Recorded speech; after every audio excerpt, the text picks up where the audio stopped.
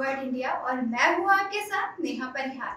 आप सभी दर्शकों का स्वागत है हमारे इस खास कार्यक्रम नवरात्रि स्पेशल में। नवरात्रि का पावन पर्व चल रहा है। सभी माँ की भक्ति में सराबोर नज़र आ रहे हैं। और आज हम अपने इस खास कार्यक्रम में बात करेंगे नवरात्रि के पाँचवें दिन के बारे में। चैत्र नवरात्रि के पाँचवें दिन माँ दुर्गा के स्कंद माता रूप की पूजा की जाती है। शास्त्रों के अनुसार इनकी कृपा से मूड भी ज्ञानी हो जाता है।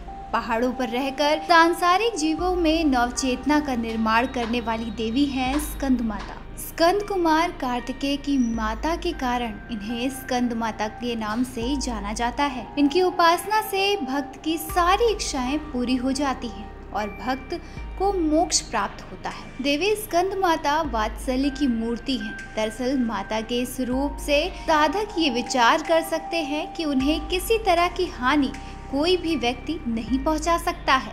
अन्यथा माँ क्रोध में आकर अपने साधक, भक्त या पुत्र को नुकसान पहुँचाने वाले का सर्वस्व मिटा सकती हैं। पुराणों के अनुसार जब इंद्र कार्तिकेय को परेशान कर रहे थे, तब माँ ने उग्र रूप धारण कर लिया था और माँ चार भुजा और शेर पर सवार होकर प्रकट हुई थी। माँ ने कार्तिकेय को गोद में उठा लिया। इसके बाद इंद्र आदि देवताओं ने माँ के स्कंद माता रूप की आराधना की थी।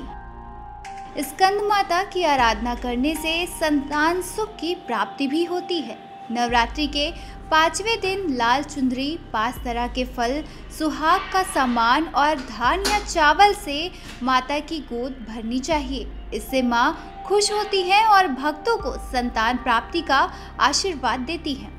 माँ कमल के आसन पर विराजमान रहती हैं, इसी कारण इन्हें पद्मासना देवी भी कहा जाता है। माँ का वाहन सिंह है। वहीं पाँचवें दिन का शास्त्रों में माता का विशेष महत्व बताया गया है। नवरात्रि के पाँचवें दिन सबसे पहले स्नान करें और साफ़ कपड़े धारण करें। और अब घर के मंदिर या पूजा स्थान में चौकी पर स्कंद माता की प्रतिमा को स्थापित करें।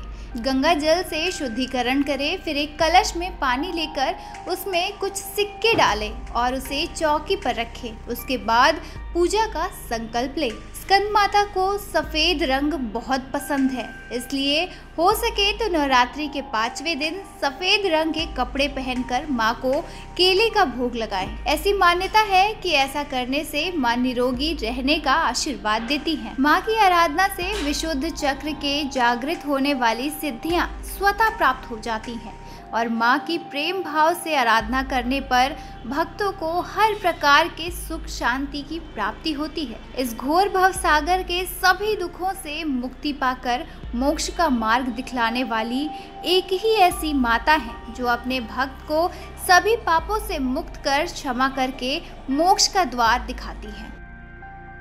हमारे इस खास कार्यक्रम नवरात्रि स्पेशल में फ़िलहाल इतना ही। माता रानी की कृपा आप सभी दर्शकों पर यूँ ही बरसती रहे। जय माता